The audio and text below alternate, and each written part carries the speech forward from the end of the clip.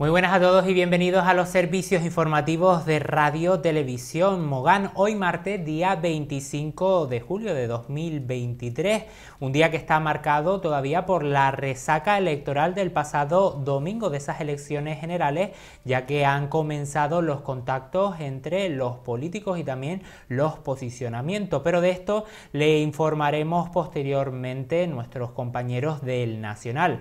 Nosotros pasamos a hablarles de la actualidad del municipio de Mogán. Y es que esta pasada madrugada fueron rescatados 85 migrantes cerca de las costas de Gran Canaria. Salvamento Marítimo ha rescatado esta madrugada 85 personas de origen subsahariano y una persona fallecida que viajaban en un cayuco a 15,7 kilómetros de Gran Canaria, donde fue detectado por el CIBE. El aviso de la Guardia Civil llegó a la 1 y 35 y motivó que se movilizara desde Gran Canaria la guardamar Calíope, cuya tripulación procedió a las 2 y 56 al rescate de sus ocupantes. Entre ellos encontró a un hombre fallecido y a otros 80 y una mujer con vida. A todos los transbordó hasta su desembarco en el muelle de Arguineguín que tuvo lugar a las 5 y 5 de la mañana según ha informado este martes AF, Fuentes de Salvamento Marítimo. A su llegada a Gran Canaria, efectivos de Cruz Roja han procedido a trasladar a ocho ocupantes de este cayuco a centros sanitarios de la isla. Otros han contado al personal de esta ONG que llevaba nueve días en alta mar. Unas misteriosas luces fueron avistadas en el cielo moganero en la pasada noche. Son varios los moganeros que se vieron sorprendidos anoche por una imagen extraña en los cielos. Se trata de una fila de luces alineadas perfectamente que brillan por encima de otras estrellas. Es una especie de gusano luminoso que recorre el cielo y tiene una trayectoria descendente. A medida que van adquiriendo la altura y la inclinación deseada, se van separando poco a poco en fila india creando el espectacular tren de luces. Se trata de un cometa, un cohete espacial, un ovni, la Lamentamos decepcionar a los más soñadores, pues este misterio tiene una explicación terrenal y nada extraterrestre. Estas luces no se corresponden a ningún fenómeno sobrenatural, sino al lanzamiento de varios satélites Starlink por parte de SpaceX, la empresa propiedad de Elon Musk. Se pueden confundir fácilmente con estrellas debido a que están dotados de paneles solares capaces de reflejar la luz. Es por esto que los momentos del día donde son más visibles son tras el atardecer y antes del amanecer. Son numerosos los usuarios de redes sociales los que comentan la visión de Starlink cuando aparece. Starlink es un proyecto propiedad del multimillonario Elon Musk que se define como una constelación de miles de satélites de pequeño tamaño que orbitan a altitudes entre 450 y 1200 kilómetros y pretenden dar cobertura de Internet a nivel, a nivel planetario con múltiples aplicaciones en campos científicos, civiles y militares. Los astrónomos ya se han quejado alertando de que podrían ser más brillantes que algunas estrellas y esto entorpecería los estudios sobre el espacio y la observación del cielo nocturno. La respuesta del magnate Elon Musk a estas críticas ha sido negar que sus satélites ocasionen trabas al estudio del espacio y defender que la causa de llevar Internet a millones de personas con menos recursos económicos es un bien mayor. Esperamos haber resuelto las dudas de esas personas que avistaron las luces anoche e incluso sintieron miedo por no saber cuál era el motivo de ese cielo luminoso.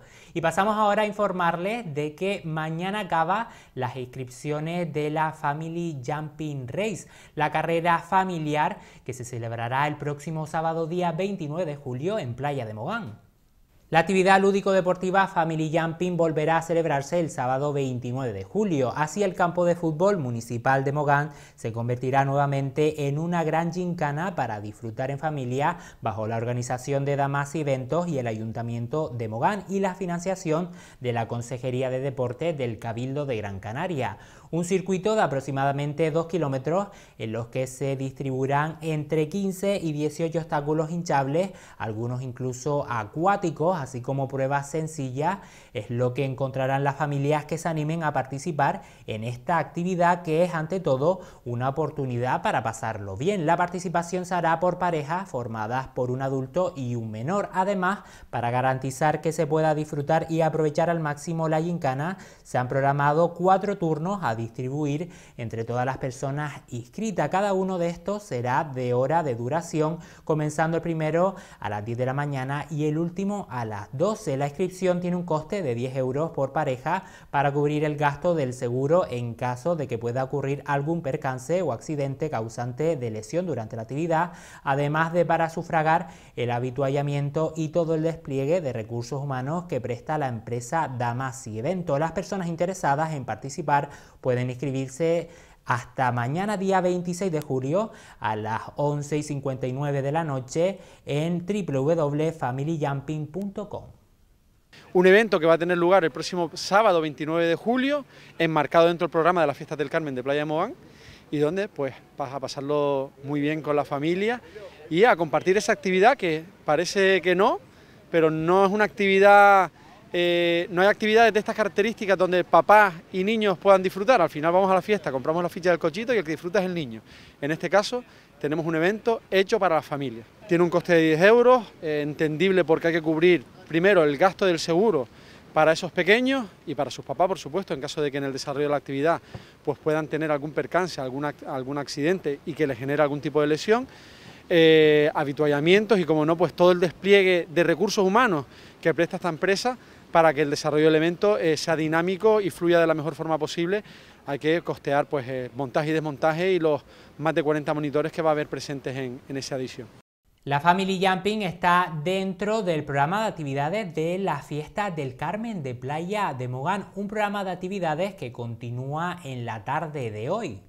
A las 7 tendrá lugar la gincana de obstáculos familiar en la Plaza Dr. Pedro Betancor León y a las 9 la actuación de la Academia de Baile Ace Dance, el ballet de Ana Vega, Marta Torres Nairi Ray y Micaela Patiño en la Plaza de la Gañanía. Además, la Concejalía de Cultura y Festejos del Ayuntamiento de Mogán organiza, dentro del marco de las fiestas del Carmen, una excursión al lago Taurito y un viaje a Fuerteventura. El miércoles 2 de agosto se realizará la excursión al lago Taurito. Tiene un coste de 16 euros para adultos a partir de 13 años y de 6 euros para niños entre 13 y 12 años, con salida desde varios puntos del municipio. Para más información e inscripciones pueden llamar al 928 15 8800 extensión 1194. El plazo de inscripción es hasta el 28 de julio. Por otro lado, en cuanto al viaje a Fuerteventura, se realizará del 4 al 6 de agosto con un coste de 245 euros por habitación doble por persona. Incluye billetes ferry, traslados en Fuerteventura, entradas al Oasis Park, el todo incluido en el Hotel Occidental Jandía Playa y el seguro de asistencia de viaje. El cupo mínimo es de 48 plazas y para más información e inscripciones también pueden llamar al 928 15 88 00 extensión 1194. Recuerden que las plazas son limitadas. Precisamente los parques acuáticos y las piscinas son uno de los lugares más visitados durante el verano por el aumento de las temperaturas. Sin embargo, tienen que saber que tienen que seguir una serie de recomendaciones si se bañan en las piscinas. La llegada del calor provoca el aumento de baños en piscinas y centros de ocio acuáticos, ignorando quizás que las actividades recreativas en piscinas, spa, jacuzzis, lagos, ríos u océanos nos exponen a contraer diversas enfermedades infecciosas que generalmente afectan al sistema digestivo, a la piel o al sistema respiratorio. Solo en España hay más de 1,2 millones de piscinas privadas de uso unifamiliar o disfrutadas por una comunidad de propietarios cuyas aguas hay que vigilar para evitar que proliferen microorganismos patógenos. Los organismos patógenos que podemos encontrar en aguas recreativas son diversos. Pseudomonas, protozoos, estafilococos, estreptococos fecales o incluso legionela que suele aparecer en piscinas climatizadas o spa. El cloro es el desinfectante más habitual utilizado en el agua de piscina. Mata las bacterias atacando los lípidos de las paredes celulares y distribuyendo las enzimas y estructuras dentro de la célula. Para evitar todo lo posible las infecciones debemos asegurarnos de que el agua donde nos bañamos sea limpia y se mantiene regularmente. Evitar tragar agua mientras nadamos y no bañarnos cuando estamos enfermos. Procurar no orinar en el agua ni cambiar pañales junto a la piscina. Tomar una ducha rápida antes de entrar en el agua es otra medida preventiva importante, al igual que evitar que las mascotas entren en el agua. Al salir del agua es prudente secarse los oídos para prevenir infecciones y si en algún momento presenciamos o detectamos un incidente fecal, conviene avisar inmediatamente al personal de la piscina. Y tenemos que informarle que hace unas horas se ha declarado un incendio en el municipio de Tejeda. El incendio forestal declarado este martes en Cortijo de Huerta, dentro del municipio de Tejeda, avanza hacia el pico de las nieves, donde los efectivos de lucha contra el fuego del Cabildo de Gran Canaria confían en atajar las llamas, aprovechando que la vegetación clarea en ese punto, donde existen varios cortafuegos. El fuego ha llegado a la valla que delimita las instalaciones del Escuadrón de Vigilancia Aérea EVA 21 del Pico de las Nieves, que ha activado su sistema contra incendio estos momentos están funcionando los hidrantes de este acuartelamiento para intentar que las llamas no entren dentro. Actualmente se divisan varios focos, uno de ellos en Cruz de los Llanos, motivados por la propagación de las pavesas debido al viento reinante. Las columnas de humo se observan desde diversos puntos de la isla, entre ellos la zona turística del sur.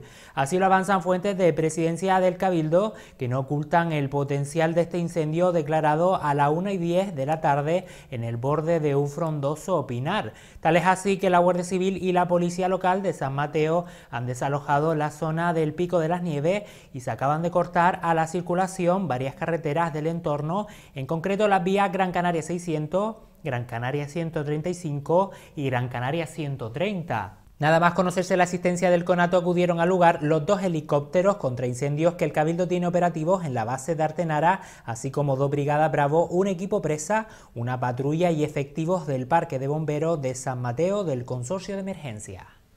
Pasamos ahora a conocer las principales noticias regionales y nacionales de la mano de nuestro compañero Adrián Jerez.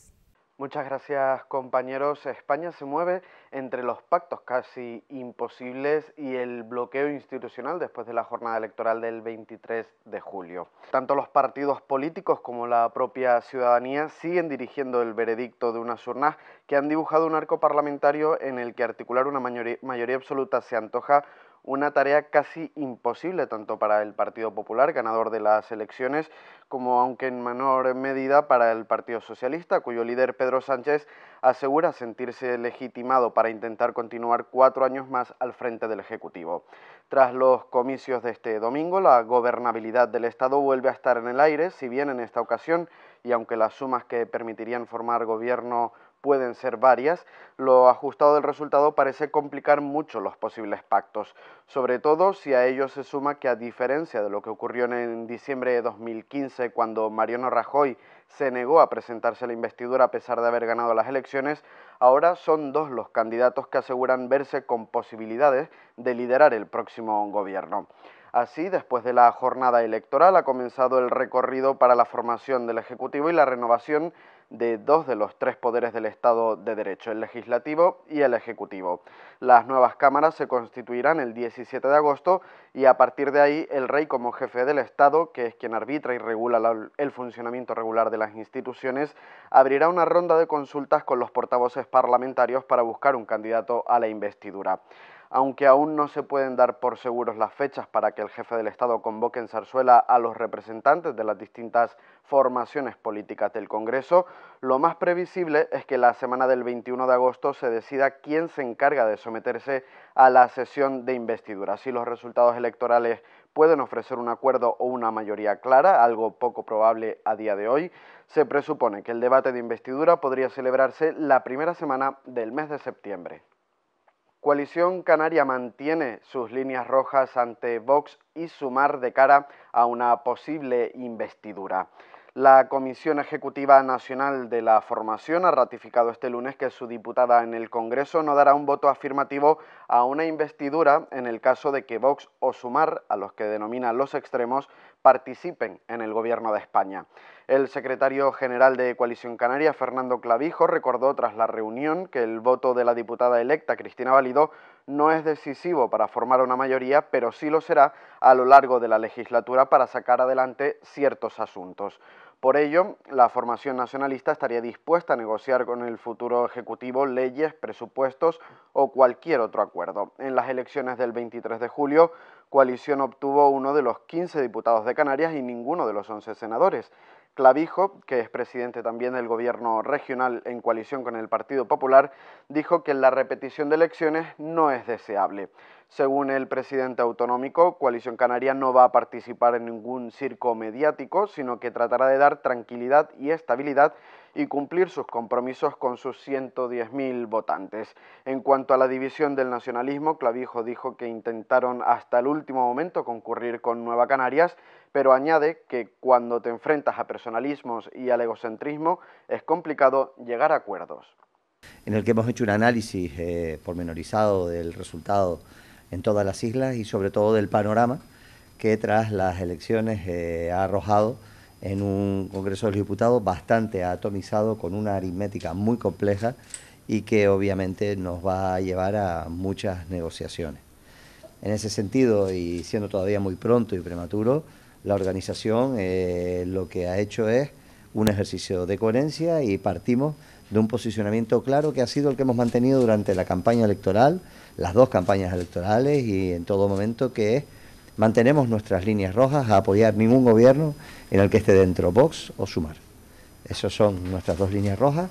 Nosotros no estamos en ningún bando, no estamos en ningún eje ideológico, estamos con Canarias y desde luego a partir de ese escenario, si se articula una posible investidura de alguno de los candidatos eh, que no sea fallida ni que sea obviamente pues fruto de, la frivolidad, sino simple y llanamente de una propuesta de gobierno seria para España y que se comprometa con los problemas canarios, pues a partir de ahí estamos en disposición de sentarnos para hablar. Una nueva serie sísmica sacude la costa oeste de la isla de Tenerife. El Instituto Geográfico Nacional registró entre el mediodía del pasado domingo y el, día de ayer, lunes, una pequeña serie sísmica con 20 terremotos de baja magnitud localizados en la costa oeste de Tenerife. La mayoría de los sismos han sido localizados a una profundidad de entre 30 y 46 kilómetros y con magnitudes entre 1 y 1,8 sin que hayan sido sentidos por la población. Esta serie sísmica no significa en principio ningún cambio en el estado de la actividad volcánica de la isla debido al escaso número de eventos y su pequeño tamaño, que indica eh, el IGN que seguirá analizando esta serie por si se produjeran nuevos eventos. Asimismo, se trata de una zona en la que ya ha habido otros dos enjambres sísmicos en el último mes y medio. En deportes, Aaron Escandel, nuevo refuerzo para la portería de la Unión Deportiva Las Palmas. El valenciano llega a la UDE eh, para las próximas dos temporadas tras el acuerdo de traspaso alcanzado con su anterior club, el Cartagena.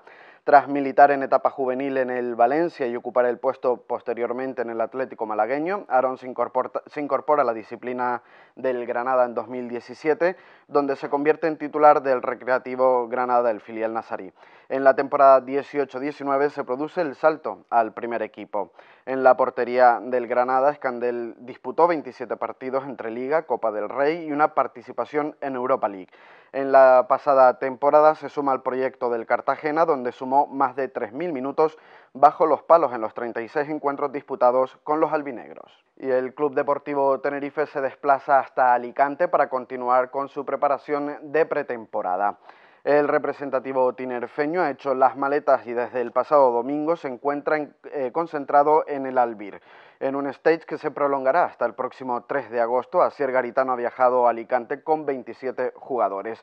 No obstante, hay varias ausencias destacadas en la, expedición. Ni Pablo Larrea, ni José Ángel Jurado, ni Javi Díaz, ni Etienne, ni Jorge Padilla han viajado ya que se les está buscando salida. En este apartado también cabe destacar la baja de Álvaro Romero, que aún sigue recuperándose de su lesión de rodilla. En la península, el conjunto blanquiazul jugará un total de tres amistosos. El primero de ellos será este miércoles. El 26 de julio los tinefeños se verán las caras con el Deportivo Alavés. Luego, la segunda prueba será tan solo tres días después. El día 29, los de Garitano se medirán al Elche. Y por último, la entidad chicharrera cerrará su periplo en Alicante el 2 de agosto, enfrentándose al Club Deportivo Eldense. Muchas gracias compañero y pasamos ahora a hablarles del tiempo porque en la jornada de hoy volverán a aumentar las temperaturas y a aparecer la calima en el archipiélago canario. Conocemos la previsión del tiempo para mañana miércoles.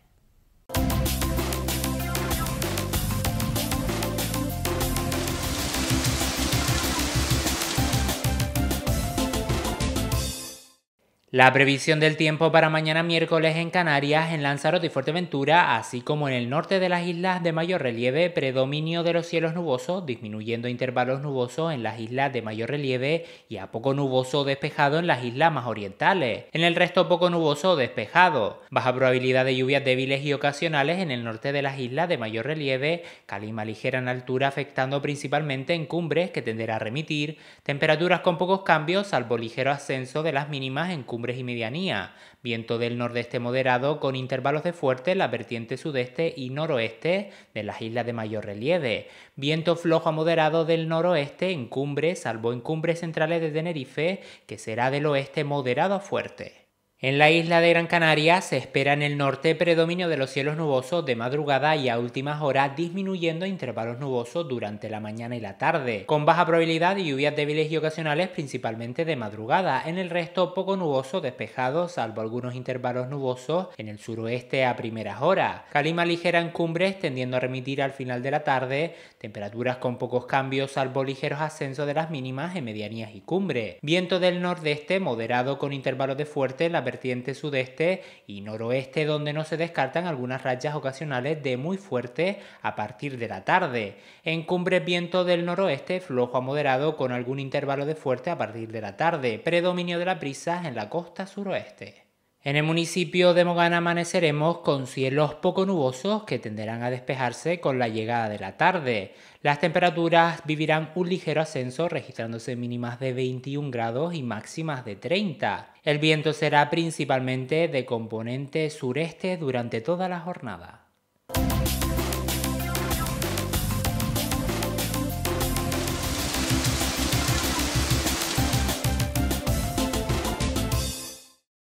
Tras hacer un repaso por internet, les mostramos algunos de los vídeos más curiosos de los últimos días vistos en redes.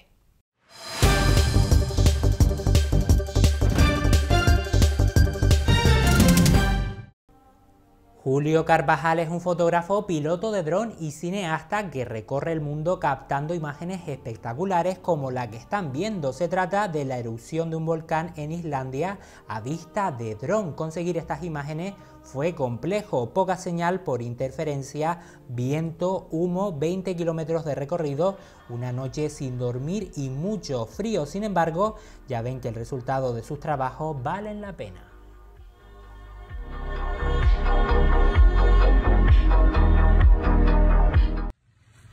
Malea Triple fue sorprendida mientras hacía del sur por un tiburón martillo que la seguía. Su marido fue quien lo avistó desde el bote donde se encontraba. Al verlo, trató de guardar karma y darle instrucciones a su mujer para que regresara al bote a salvo sin contarle la situación para no alterarla. Un momento tenso que pudieron solventar de forma correcta, aunque las imágenes impresionan. circling you. Damn, it you. a hammerhead. It was, uh, it was following your board. Holy fuck. Right it was like right, his head was underneath your board. Fantastic, I thank you. Truth racing happened. oh no. Let's stay close to the boat. No es muy usual el ataque a humanos por parte de esta especie, sin embargo hay que ser precavidos y mantener la calma en estas situaciones.